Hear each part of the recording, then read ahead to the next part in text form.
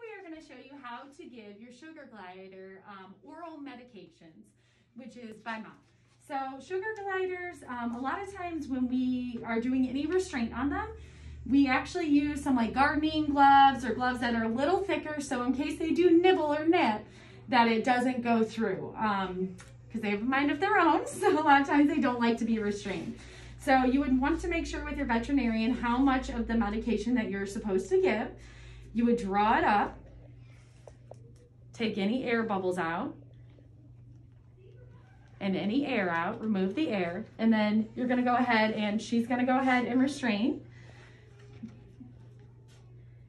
And a lot of times we like to prescribe about sweet stuff or you can add some apple juice or anything. You have to ask your veterinarian if you can do that.